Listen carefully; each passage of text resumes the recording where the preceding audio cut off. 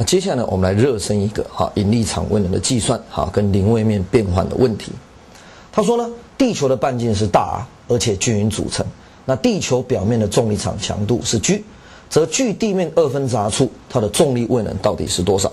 各位，那有一个怎么样？有一个关键的地方，距地面二分之 R 表示距地心是多少？距地心是二分之三 R。你如果是要算怎么样？算地球外面的引力场，我们的公式必须要从距地心起算。所以距地面二分之 R 表示距地心是二分之三 R。好，那你说老师太简单了吗？我就带公式，负的二分之三 R 分之 G M。好，那你整理一下，变负的三分之二 R 分之 G M。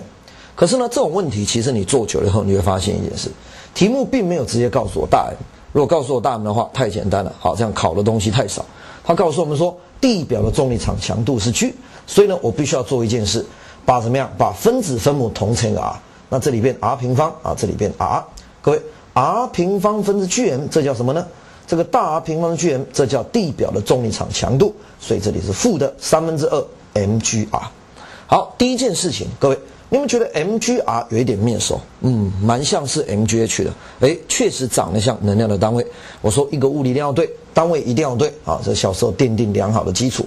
如果你算出来呢，啊，叫做 gr，嗯，不对，mg 不对，这区分之 mr 啊，不对。好，各位，你要像 mgh、mgr 这个才像是对的样子。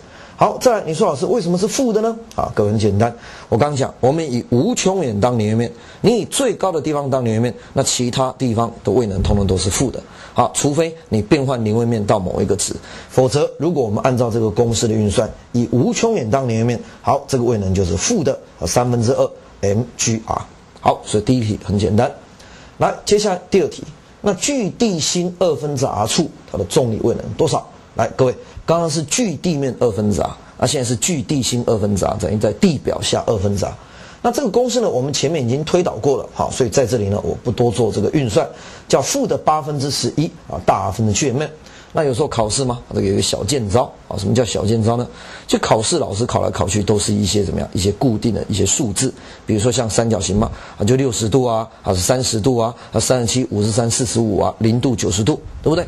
那有时候呢，考试如果要快一点，你可以把一些小小的结果记起来。考试权视觉暂留啊，你把这个负这个二分之 r 这个未能把它记起来，负的八分之一 r 分之 G M。好，一样，分子分母同乘一个 R 平方的 G M 啊叫做 G，所以这里负的八分之十一 m G R。OK，这个把它解完。好，那这个推导我们前面有推过，所以我就不在这里怎么样，不在这里再重复算一次这个面积。来，第三题。那如果以地表当零位面，那上述的答案会变多少？各位，那第三题就等于在考大家怎么样零位面的变换。我们原来是以无穷远当零位面呢，那现在以地表当零位面怎么办？各位，那你不用说啊，老师我地表当零位面，我在背另外一个公式，不用。其实我说这就是很简单的这个小学的数学。好，你原来呢地表的位能以无穷远当零位面的时候，叫做负的 r 分之 G M，分子分母同乘一个 r 啊，叫做负的 m G R。各位好，这是什么？这是地球表面的引力场位能。那以无穷远当零位面的时候，这叫负的 mgr。好，那你这样想，我现在如果以地表当零位面呢？各位，这题目的要求，如果以地表当零位面呢，那就等于负的 mgr 变成零嘛？各位，那负的 mgr 怎么变零？是不是加了一个 mgr？好，加了一个 mgr 以后很简单，大家通通都加 mgr。你原来的负的三分之二的 mgr 加一个 mgr 变三分之一 mgr。你原来负的八分之十一的 mgr，再加个 mgr，变成负的八分之三 mgr。OK，解完。各位，这只是一个很简单的零位面的变换，不要把它想得太复杂。好，那现在有个小问题，老师啊，以地表当零位面啊，这个为什么是正？这个为什么是负？各位很简单，你现在一栋大楼，对不对？你原来是以无穷高当零位面，每个地方都是负的。那你以地表当零位面，好，那你在地表上面二分之 r，对不对？地表上面二分之 r。那你现在在零位面的上面的位能正的吗？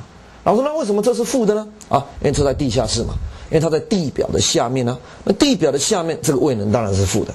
所以如果你把地表当零位面的话，在地表上这位能是正的，好，在地表下位能是负的。哎，那个 feel 就怎么样？feel 就出来了，能懂了吗？好，所以呢，这些东西对大家来讲不再是一个公式，不再是一个数字，而是有怎么样？而是一个有感觉的物理。你要去感觉一下，诶，为什么这个答案算出来是正的呢？为什么这个答案算出来负的呢？其实一定有它的物理存在。所以这个题目呢，让大家基基本呢这个练习一下，怎么样算地球外面的这个引力场位能，怎么样算地球内部的引力场位能，再加上怎么样利用怎么样利用这个零位的变换，算出怎么样算出变换者的位能到底有多少。所以等一下在讲义上自己做一次，不懂的部分再随时回来看影片的解说。